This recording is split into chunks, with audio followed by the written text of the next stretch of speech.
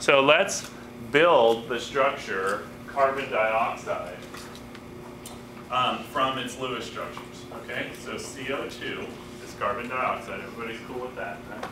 So the first thing we want to do is write the three atoms. Okay, so which of these atoms can make the most bonds, carbon or oxygen? Carbon. Okay, so that's probably going to be your central atom. Okay? And in fact, in this case, it will. So let's draw Lewis structure of carbon, Lewis structure of oxygen. And again, I'm just drawing these in this particular way because I know how I'm going to bond them. So how many bonds would you expect carbon and oxygen here? Two, right? Why? Because oxygen needs its octet good, right? Is everybody okay with that? What about over here? Same. What'll, what'll happen when you do both of these oxygens bonded to this carbon with double bonds? Well, Two double bond, the carbon will be built up. yeah, so you'll have two double bonds, a double bond here and a double bond here, right? You'll have a full octet on this oxygen, full octet on this oxygen, and also, like you were saying, only the full octet on the carbon. Is everybody okay with that? So, yeah. You know it's a double bond because there's two empty on the oxygen, right? So there's two, and there's two spaces here, right? And there's four spaces here. Okay, so let's just put it together and you'll see, and see if you'll have that same question. Okay. So remember our fish hook arrows?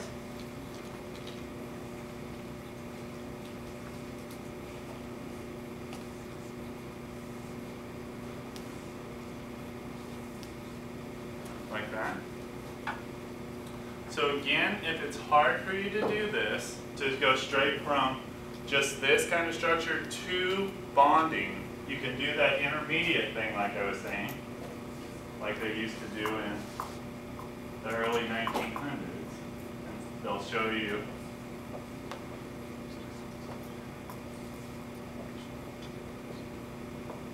So like that, right? Is everybody okay with that? Now I know it looks very strange, right? But you can see one, two, three, four, five, six, seven, eight around oxygen, right? One, two, three, four, five, six, seven, eight around carbon. One, two, three, four, five, six, seven, eight around oxygen. So again, we want to draw it like a modern person.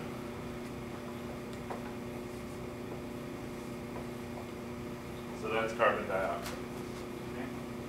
So some things that we'll learn about carbon dioxide in a little bit, but I'm going to give you a preview since we're recording this thing, um, is that when you look at the bonds, right, you should realize there's going to be a difference in electronegativity between carbon and oxygen. Is everybody cool with that? Yes? No? Yes. Yeah, okay, so yes, right? Which one of these is more electronegative? Oxygen. In fact, it's one of the more electronegative elements. That's one of the three that you're going to want to remember, the very electronegative ones, okay? So if I said, which way is the negative charge being pulled in each of these bonds, or if you want to think of which, where's the partial positive and the partial negative in these bonds, right? So carbon, when looking at this bond here, is going to have a partial positive, and the oxygen will be partial negative. Is everybody okay with that? Okay, same thing over here. We'll have partial positive and par partial negative there. Okay, is everybody okay with that? And also, the amount of pulling that this negative will have is the exact amount of pulling that that negative will have. Is everybody okay with that? So this structure is a linear structure. All of these atoms are in the same plane. Okay? They're in a line. Another way to depict this is through these vector arrows.